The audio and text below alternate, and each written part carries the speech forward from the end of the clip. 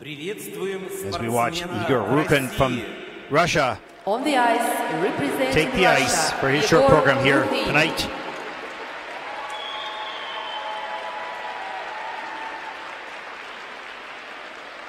Sixty-eight point five one personal best in the short program, earning that back in 2019 in Courchevel. You hope to beat that here tonight.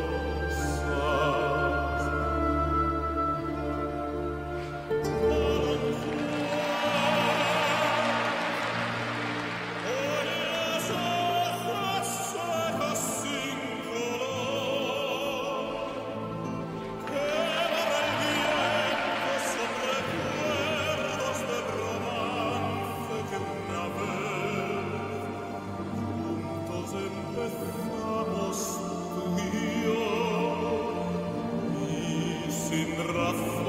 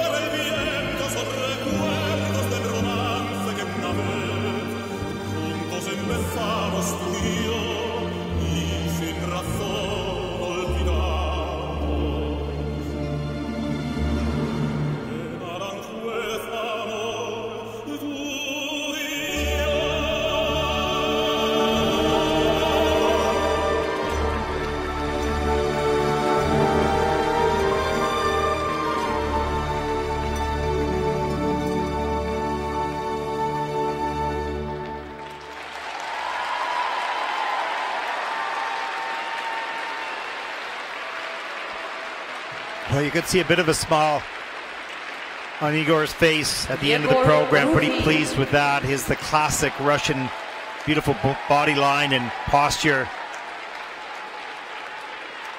and skated a very nice and clean program. Little, I don't want to say hesitant, but a little slower than you might want to be. You want to, you want to accelerate into those jumps and not sort of telegraph them take too much time. Certainly capable of doing that. He has the power, the technique, and they want to just pick up a little bit of speed as he enters those elements. But of course, you know, they need them. They, they, they can't run the risk of a mistake because it could drop you right out of contention the short program.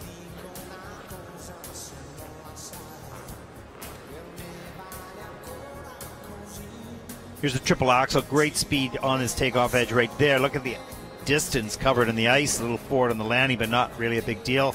Carries some good momentum out after that. Here's a triple flip. Nice and tight in the air. Nice and calm in the landing. Just takes that free leg out, rides that edge as he prepares to come into this next spin. Watch the entrance here. Traveling three turns. Stops with the pick in the ice. Centers himself right over top that left leg. Nice camel position. Really beautifully done.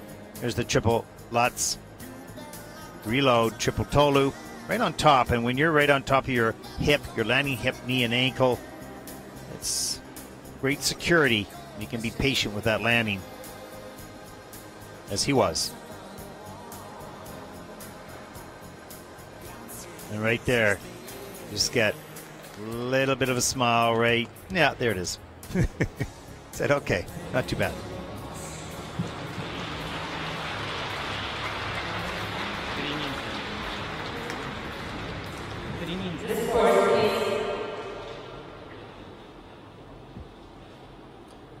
Seventy-eight point four three. Look at that score. That's huge.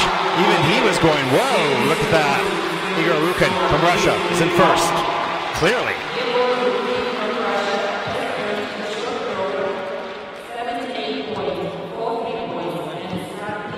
Great skate. Great score.